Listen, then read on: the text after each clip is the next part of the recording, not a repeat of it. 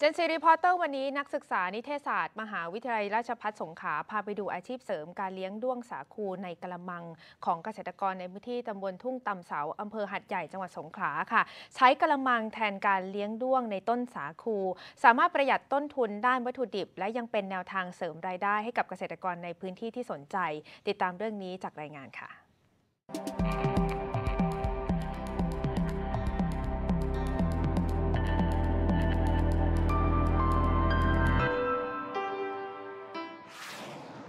คุณสังวรมริวันเกษตรกรพื้นที่ชุมชนหูแร่ ตำบลทุ่งตำเสา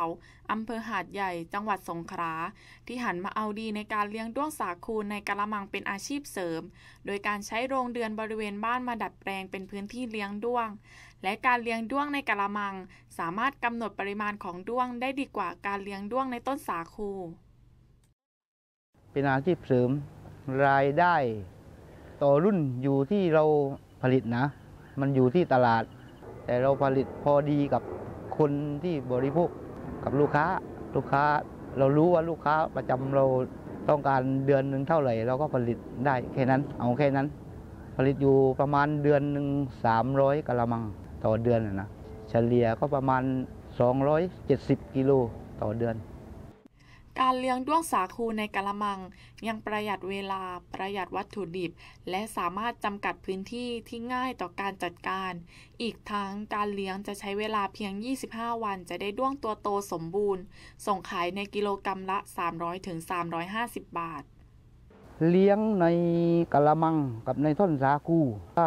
เลี้ยงในท่อนสาคูนะในท่อนสาคูมันจะเปลืองสาคูเปลืองวัตถุดิบ ไม่คุ้มกับที่เราได้ตัวด้วง ถ้าเลี้ยงในกะละมัง